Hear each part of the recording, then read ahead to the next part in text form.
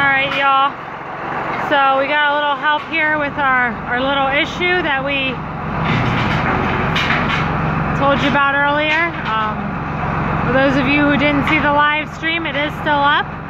You can go back and watch it, but uh, somehow, we're not sure how or why, the sliding barn door got flipped up around. I'm guessing that there was some kind of wind that came through, although it was fairly calm here today. Um, so I don't know if there was a little swirl or negative pressure or what built up in the barn, but it was closed and um, somehow it got blown up on top of the roof. So we're going to attempt to pull this back down and hope that it doesn't do too much of a damage.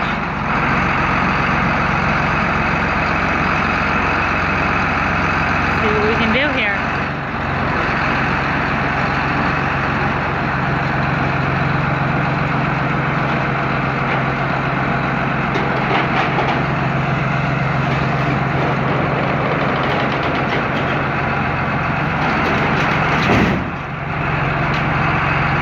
So there you have it.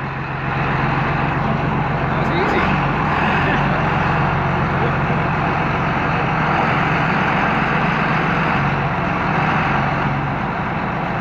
It's sort of back in place there. Alright, so now we are going to attempt to bend the door back since it seems to be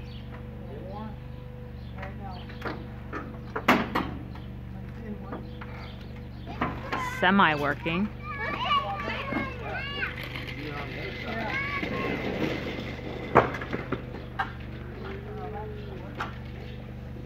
You can probably just climb up on the roof on the other side.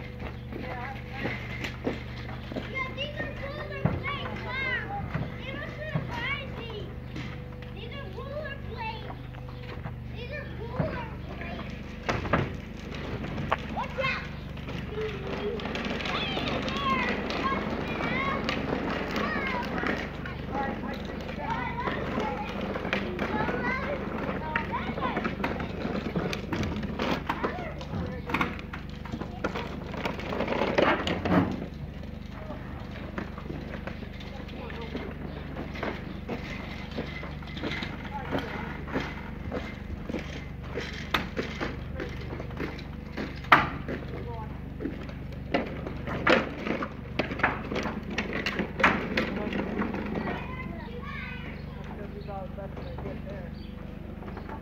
Alright, hopefully by bending this we'll be able to latch it again at least and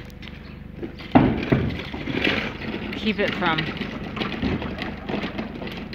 blowing anymore. But at least we'll have our barn closed up again. So yeah, it's a little bit of what we're up to here.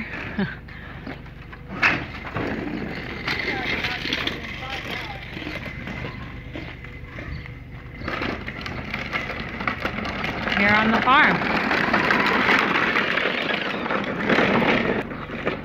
Alright y'all, so there you can see we have the um, door latched closed now. It still has a little bit of a kink in at the top, but amazingly, it looks like the track is okay. I don't know if you guys can see that or not, but it looks like that track is going to be okay. Just the metal flashing is bent on the outside there and the door is at least usable for now. We're able to move it back and forth um, with a little bit of grit, but we have it in a position now that we can get it to, to lock shut. So keep our stuff inside dry at least. But yeah. So there you have it. I hope you enjoyed this little clip of us uh, putting the door back in place and getting it back off the roof. And like I said, uh, if you want to see what it looked like before, um, check out the live stream that we did uh, earlier this afternoon. So, as always, have a great day.